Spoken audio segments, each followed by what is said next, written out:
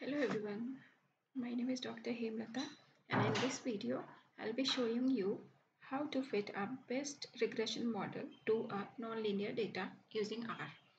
So without getting delayed, let us start. Here I have written all the codes but I'll be explaining all one by one. So for this, first I need to import the dataset and my data is stored in Excel file.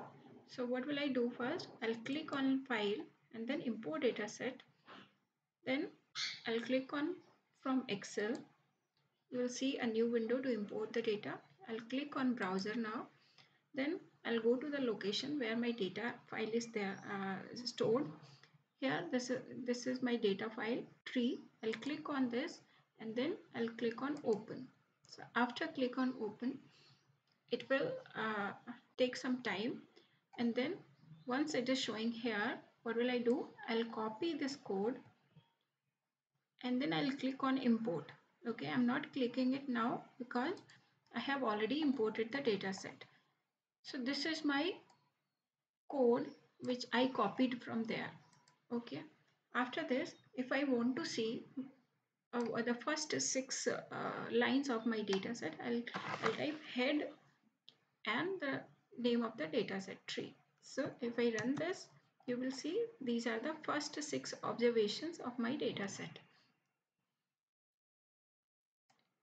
This one tree and age. So these are the two columns uh, or variables given in my data set. If I want to see how many observations are there, I'll just type dim dimension of my data set. So tree dimension of tree.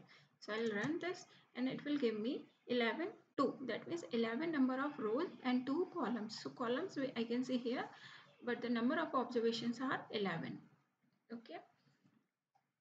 Now my question is fit a best regression model to estimate the height of the tree based on its age. Here height is in feet and the age of the tree is in years. Okay. Now some of you will do the mistake. They will just see we have only two variables and they think that it is the example it is a case of simple linear regression model. So they will just uh, fit a simple linear regression. So as we know in the regression model there are two types of variables dependent and independent variables. So we generally take y as a dependent variable and x as an independent variable. So here y i have taken y as my height because here I want to estimate height so I want to see whether the height it is depending on the age of the tree. Okay so height is my dependent variable here and I have stored x I have taken x as my age of the tree.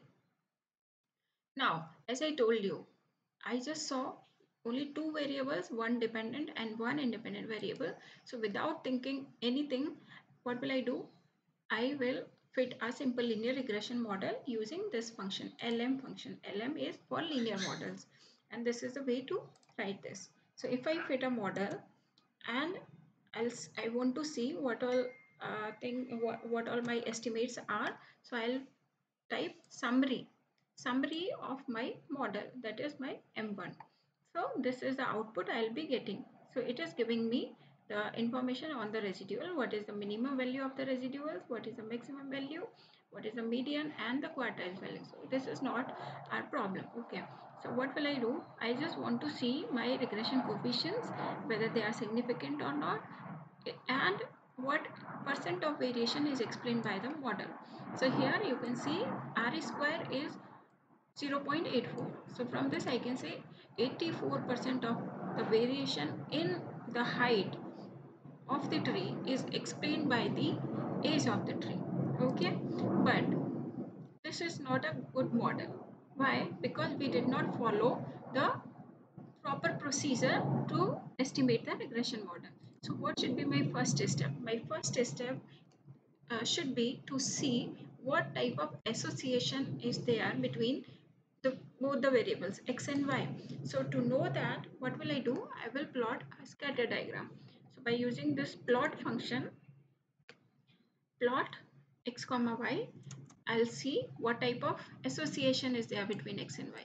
So from this diagram you can see this is a kind of non-linear relationship and it is um, you can say it is a logarithmic association between x and y. It is not a straight line right.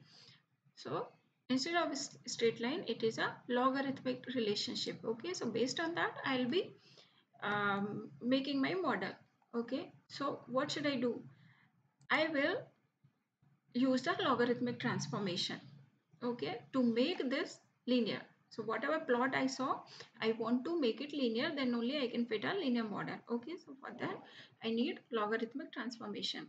So what I did I took log of my x variable. So I saved the value log values of x as log x. So x variable is my tree age. So I took log of age of the tree. Then again I checked now whether my relationship is now has become linear or not. So I'll see the I'll, I'll plot the relationship between y and the logarithmic values of x. Now you can see here in the right hand side corner this plot is I'll zoom it. This plot is very much similar to the straight line. Most of the values are close to the linear line right so now it is good to go. We can fit a linear regression model to my transformed data.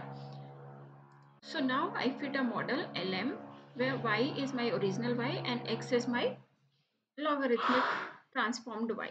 Okay? By using this I fit a model and I see what are my values estimated values. So if I see here these are my estimated regression coefficients. These are my p values associated with this. So you can see the three stars are there. It indicates these are highly significant.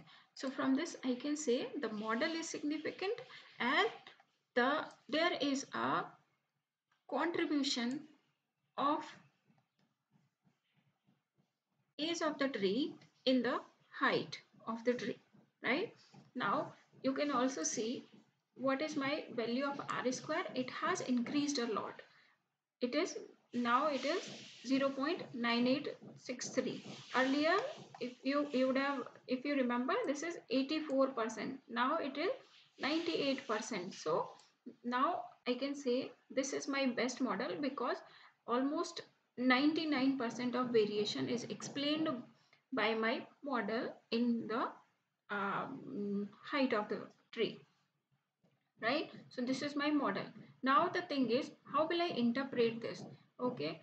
So from this date from this uh, uh, output i'll write my estimated model. This is my estimated height is equal to the intercept term that is beta naught plus uh, beta 1 this one into the log value. This is the log of age of the tree. Okay now how to interpret this? This is the question. So to interpret this what what will i say? It, we cannot interpret it like as we were doing uh, in the simple linear regression. So the correct way to interpret is 1% increase in the age of the tree increases the height of the tree by this value divided by 100 this is 0.6182 feet okay? Because height is in feet. So it is approximately 6 inches okay? So that means one if if there is a 1% increase in the uh, age of the tree this will increase the height of the tree approximately 6 uh, approximately 7 inches okay? This is how you can interpret. And this is the best model than the previous model okay? Because my r square has increased okay? I hope you would have got some clarity to fit a best regression model based on the relationship uh, between the variables. If you like my video please like and subscribe my channel. Thank you